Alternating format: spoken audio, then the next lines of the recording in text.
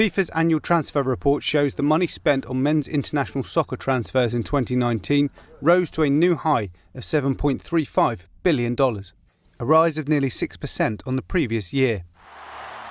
That figure was reached from only 15% of player moves, as the remaining number went through with no fee at all. In fact, 80% of all spending came from just 100 clubs. The most expensive transfer was Portuguese wonder kid João Felix for a fee of $139 million to Atletico Madrid, filling the boots of French World Cup winner Antoine Griezmann, who left for Barcelona at a cost of $133 million.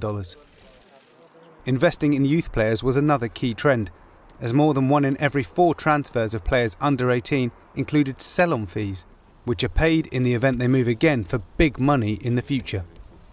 For a second straight year, World Soccer's governing body released a separate report for the women's game, where transfer activity was also on the up. 833 global transfers were completed in the women's game last year, Almost 20% of all transfers involved a player from the USA, home of the world champions, and by far the most represented nationality in the transfer market.